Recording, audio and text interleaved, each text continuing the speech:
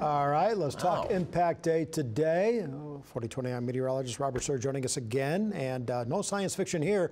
Tomorrow's going to get ugly, huh? Yeah, I'm the bearer of bad news. Yeah. We kept saying it was a changing forecast, and now we're starting to get a hammer on exactly what's going to happen this week, and it could be sloppy, unfortunately. We've made tomorrow and Tuesday severe days at the moment for many, many reasons. First, we are going to see several rounds of snow, sleet, and freezing rain, mainly sleet and freezing rain across northwest Arkansas as well as the River Valley. Now, the best chance for uh, more impactful freezing rain, I think, will be River Valley and east, especially south of Fort Smith and toward the Little Rock area where they could have big time ice problems. But regardless, it only takes a glaze of ice to create dangerous travel and the possibility of power outages. As I said earlier, two different winter weather advisories in effect. Northwest Arkansas, 6 p.m. to 6 a.m. tomorrow.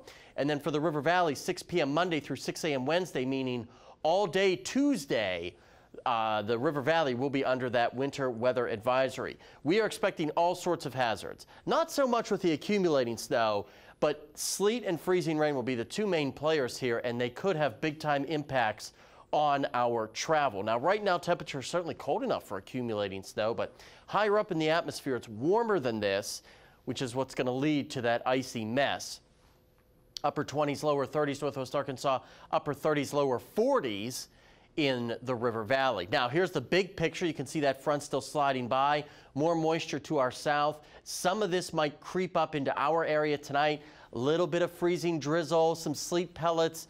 What's happening tonight? Not that big of a deal. Shouldn't create a lot of problems. That's why it's just an impact night.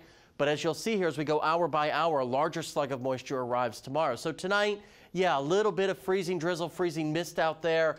Uh, coat your windshield. Handrails might be a little bit slick. By tomorrow morning, that's mostly gone and things are nice and quiet. But big slug of moisture rolls in here Monday afternoon and evening. Sleet and freezing rain. Uh, probably rain changing to freezing rain in the River Valley and even a little bit of snow possible. You get up toward the Missouri border. That's out of here by Monday evening. We get another break before another round of precipitation rolls in here. Kind of the same thing.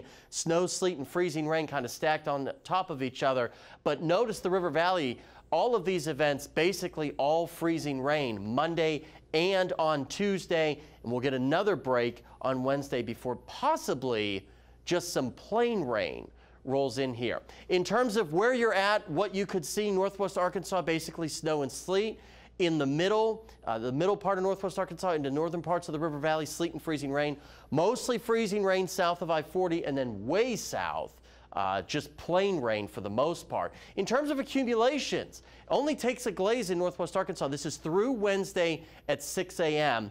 Couple hundredths here, higher numbers in the River Valley, crippling numbers the further south and east you get for the freezing rain. We'll also see sleet pile up in some locations as well, but at least you get some traction on sleet. And then maybe just a little bit of snow here across northwest Arkansas, north of Highway 412, and especially once you get into southwest Missouri. Lows tonight will be in the 20s and lower 30s. Temperatures go almost nowhere tomorrow, upper 20s and lower to mid 30s in the River Valley. There's a look at the extended forecast, which features those messy days, more rain chances, and the possibility of more slick chances Wednesday and maybe Thursday. It depends. Still, we'll get through Monday and Tuesday first before we worry about the potential for Thursday and Friday. But by the end of the week, sunshine and warmer temperatures. River Valley about the same thing. Definite slick spots. If you have traveled to the east uh, toward the capital region this week, you're going to want to really pay attention to the forecast because we could be talking about widespread power outages as we get toward the Little Rock uh, area in those places. Stay with us. We've got an update with Meredith Mulkey. She's going to tell you how the Lady Hogs did on the basketball court after the break.